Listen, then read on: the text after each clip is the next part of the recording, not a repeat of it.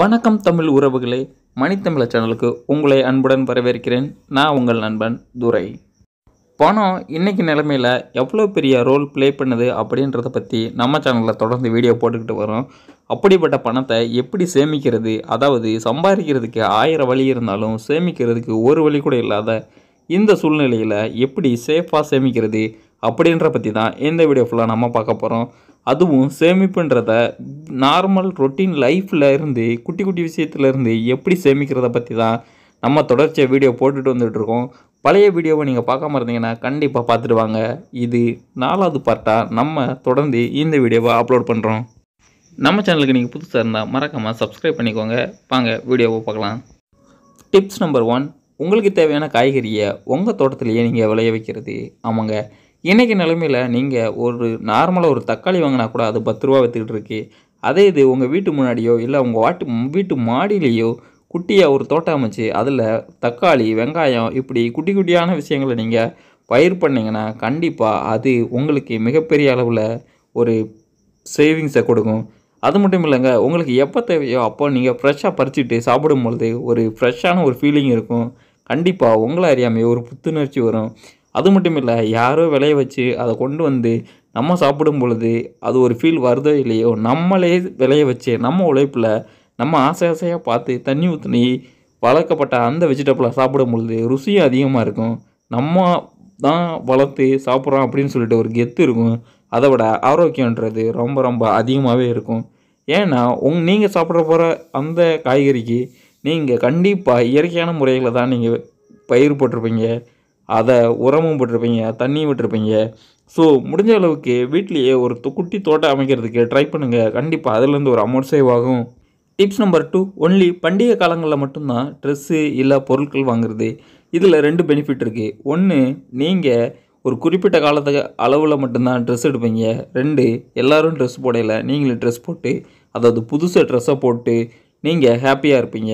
So இதில் ரெண்டு benefit இருக்குது அதை விட முக்கியமான ரீசன் என்னென்னா பண்டிகை காலங்களில் கலெக்ஷன் கூட அதிகமாக இருக்கும். அப்போது நீங்கள் எதிர்பார்க்குற கலெக்ஷன் உங்களுக்கு கிடைக்கிறதுக்கு நிறைய சான்சஸ் இருக்குது அதே இது நீங்கள் நார்மல் டேஸில் போய் எடுத்தீங்கன்னா கலெக்ஷன்ஸு கம்மியாக இருக்கும்.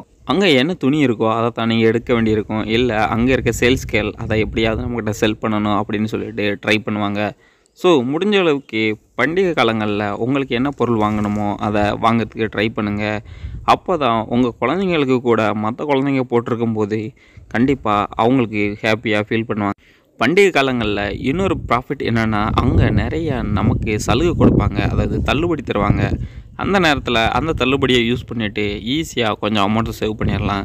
அது மட்டும் இல்லை உங்கள் ஃபேமிலி உங்கள் அம்மா அப்பா எல்லாரையும் அந்த நேரத்தில் ஃபங்க்ஷன் அப்படின்னு காலகட்டங்களில் கூட்டிட்டு போயிட்டு ஒரு பர்ச்சேசிங்கை போட்டிங்கன்னா கண்டிப்பாக அவங்களுக்கு ஒரு ரிலாக்ஸேஷன் வரும். உங்கள் மேலே அவங்களுக்கு பாசம் அதிகமாக இருக்கிறதுக்கு நிறைய சான்சஸ் இருக்குது பண்டிகை காலங்களில் நம்ம பண்ணுற பர்ச்சேசிங் மிகப்பெரிய ஹாப்பியான ஒரு மெமரிஸாக இருக்கும். கண்டிப்பாக நான் இந்த தீபாவளிக்கு வாங்கினேன் இந்த பொங்கலுக்கு வாங்கினேன் இந்த கிறிஸ்மஸ்க்கு வாங்கினேன்னு சொல்லிட்டு ஈஸியாக நம்மளுடைய நினைவில் நிற்கும் ஸோ முடிஞ்ச அளவுக்கு இந்த டிப்ஸை ஃபாலோ பண்ணுங்கள் உங்கள் மணியை ஈஸியாக சேவ் பண்ணுங்கள் அடுத்த இம்பார்ட்டன்ட் அண்ட் ஈஸி டிப்ஸ் என்னென்னா அவாய்ட் ஸ்மோக்கிங் ஏன்னா நீங்கள் ஸ்மோக்கிங் பண்ணீங்கன்னா உங்கள் பணத்துக்கு மட்டும் இல்லை உங்களுடைய ஹெல்த்துக்கும் கண்டிப்பாக இஷ்யூ ஆகும். நீங்கள் உங்கள் குடும்பத்துக்கு எவ்வளோ முக்கியன்றது உங்களுக்கு தெரியுதோ இல்லையோ உங்களுடைய மனைவிக்கிட்டேயோ இல்லை உங்கள் அம்மாக்கிட்டேயோ கேட்டு பாருங்கள் கண்டிப்பாக உங்களை நம்பி தான் உங்கள் குடும்பமே இயங்கிக்கிட்டு இருக்கும். அந்த சூழ்நிலையில் நீங்கள் ஸ்மோக்கிங் பண்ணி உங்களை நீங்களே அழிச்சிக்கிட்டு உங்களுடைய ஃபினான்ஸையும் அழிச்சிங்கன்னா கண்டிப்பாக மிகப்பெரிய கஷ்டத்தில் நீங்கள் நிற்க வேண்டிய சூழ்நிலை வரும்.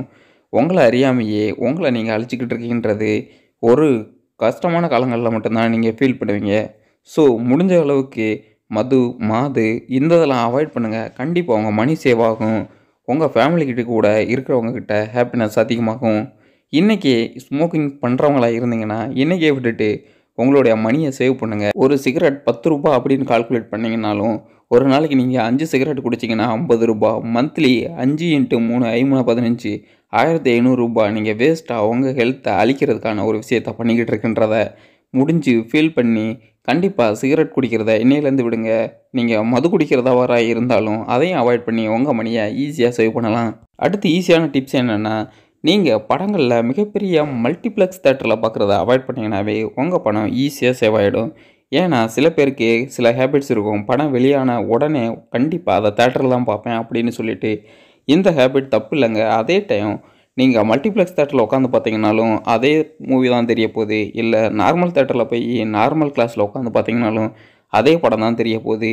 நீங்கள் பண்ணுற ஒவ்வொரு அமௌண்ட்டும் அதாவது ஸ்பெண்ட் பண்ணுற ஒவ்வொரு அமௌண்ட்டும் இன்னொருத்தருக்கு லாபமாக தெரிஞ்சாலும் உங்களுடைய ஃபேமிலிக்கு உங்களுக்கு மிகப்பெரிய இழப்பு. இன்றைக்கி இருக்கிற காலகட்டங்களில் மூவி ரிலீஸ் ஆகி ஒன் ஆர் டூ மந்தில் ஈஸியாக டிவியில் வந்துடுது நீங்கள் ஃபேமிலி கூட உட்காந்துட்டு ஈஸியாக டிவியில் பார்க்கலாம் அதை விட்டுட்டு நீங்கள் மிகப்பெரிய அமௌண்ட்டை ஸ்பெண்ட் பண்ணி மல்டிப்ளெக்ஸ் தேட்டரில் போய் உட்காந்துட்டு அங்கே விற்கிற பாப்கார்ன் மற்ற நார்மல் பொருட்களோட விலையை கம்பேர் பண்ணையில் உங்களுடைய சேவிங்ஸில் கண்டிப்பாக நீங்கள் ஒரு பர்சன்டேஜாவது செலவு பண்ண வேண்டிய சூழ்நிலை வரும். அந்த அமௌண்ட்டை நீங்கள் ப்ராப்பராக இன்வெஸ்ட் பண்ணிங்கன்னா அது மிகப்பெரிய ரிட்டர்ன்ஸை கொடுக்கலாம். அதுக்காக நீங்கள் தேட்டரில் படம் பார்க்க வேணான்னு நான் சொல்லலை. முடிஞ்ச அளவுக்கு உங்களுடைய எவ்வளோ வரவு வருதோ அதுக்கேற்ற மாதிரியான தேட்டருங்களை பாருங்கள் உங்களுடைய ஃப்ரெண்டு போய் பார்க்குறாரு இல்லை உங்கள் பக்கத்து வீட்டுக்காரங்க போய் மிகப்பெரிய மல்டிப்ளெக்ஸில் படம் பார்க்குறாங்க அப்படின்றதுக்காக அதாவது ஒரு பந்தா அந்த திங்கிங்கில் போயிட்டு படம் பார்க்க ஆரம்பிச்சிட்டிங்கன்னா உங்களுடைய ஃபினான்ஸ் ஆட்டோமேட்டிக்காக குறைய ஆரம்பிக்கும். உங்களுடைய ஃப்ரெண்டோ உங்கள் பக்கத்து வீட்டுக்காரரோ உங்களுக்கு ஃபினான்ஸ் சப்போர்ட் பண்ணவே மாட்டார். இதை கரெக்டாக ஞாபகத்தில் வச்சுட்டு எந்த ஒரு விஷயத்தையும் பண்ணுங்கள் அடுத்த டிப்ஸ் என்னென்னா சின்ன கிராமங்களில் அதாவது சின்ன நகரங்களில் வாழ்ந்து பழகுங்க. அதுக்காக நீங்கள் பெரிய நகரத்தில் வேலை பார்த்தா நீங்கள் அங்கேருந்து ட்ராவல் பண்ணி சின்ன நகரத்துக்கு வாங்க அப்படின்னு சொல்ல விரும்பலை. நீங்கள் உங்களால் சின்ன நகரத்துலேயோ இல்லை கிராமத்துலேயோ வசிக்க முடிஞ்சிச்சுன்னா முடிஞ்ச அளவுக்கு அங்கேயே வசிங்க. ஏன்னா அங்கே சுற்றி இருக்கிற பொருட்களோட விலை கம்மியாக இருக்கும். நல்ல சுகாதாரமான காற்று இருக்கும். உறவுகள்கிட்ட நீங்கள் ஈஸியாக பேசி பழகலாம் மகிழ்ச்சியாக இருக்கலாம். அதே இது மிகப்பெரிய நகரங்களில் போனீங்கன்னா உங்கள் டோரில் இருந்து பக்கத்து டோரில் யார் இருக்காங்க அப்படின்னு கூட தெரியாது. அதுக்கான ரூம் ரெண்ட் இது தாங்க முக்கியம் இந்த இடத்துல. ரூம் ரெண்ட் பக்கத்தில் இருக்கிற பொருட்களோட விலை தண்ணி பாட்டில் முதற்கொண்டு நீங்கள் காசு கொடுத்து வாங்க வேண்டிய சூழ்நிலை வரும்.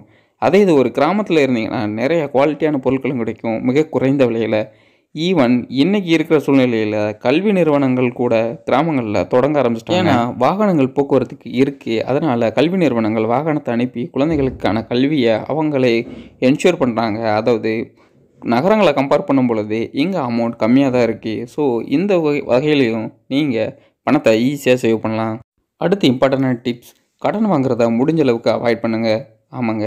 கடன் அப்படின்ற வார்த்தை சொல்கிறதுக்கு இனிப்பாக இருந்தாலும் அதை திரும்பி கொடுக்கும் பொழுது மிகப்பெரிய கசப்பான ஒரு சம்பவம்.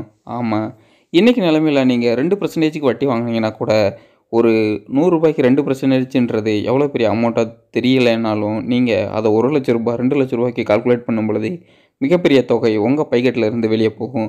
ஸோ முடிஞ்ச அளவுக்கு உங்களுடைய வாழ்க்கையை நீங்கள் எவ்வளோ வரவு வருதோ அதுலேயே ஸ்பெண்ட் பண்ண பழகுங்க. அதை விட்டுட்டு நான் ராயலாக வாழணும் பக்கத்து வீட்டுக்கார் வீடு வாங்கிட்டாரு நானும் வீடு வாங்கணும் பக்கத்து வீட்டுக்கார் கார் வாங்கிட்டாரு நானும் வாங்கணும் அப்படின்னு சொல்லிட்டு கடனை வாங்க ஆரம்பிச்சிங்கன்னா கண்டிப்பாக நீங்கள் ஒரு நாள் கூட முன்னேறவே முடியாது.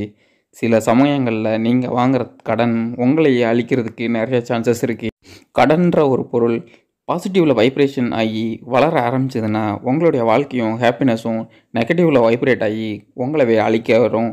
நீங்கள் நிம்மதியாக கூட சில இரவுகளில் தூங்க முடியாத சூழ்நிலை வரும். உங்களுடைய மரியாதையை இழக்க நேரிடும். ஸோ முடிஞ்ச அளவுக்கு கடன் வாங்குறத தவிர்த்திடுங்கள்.